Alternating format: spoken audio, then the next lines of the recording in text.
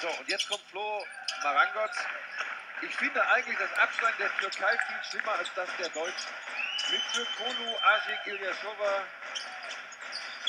die hatten eine schwierigere Gruppe, das muss man sagen. Und Leute, die Türkei außerhalb des Heimatlandes, da geht selten was. 2-1 im eigenen Land, Vize-Europameister. 2010 im eigenen Land, Vize-Weltmeister. Aber wenn die, wenn die nicht unter dem Druck daheim von den Medien und den Fans stehen, dann zerbröseln die immer wieder. Das haben wir so oft schon erlebt. Ja, das ist auch eine totale Enttäuschung, aber für mich, ganz ehrlich, nicht so überraschend. Ich habe die nie zum erweiterten Favoritenkreis gezählt. Nie.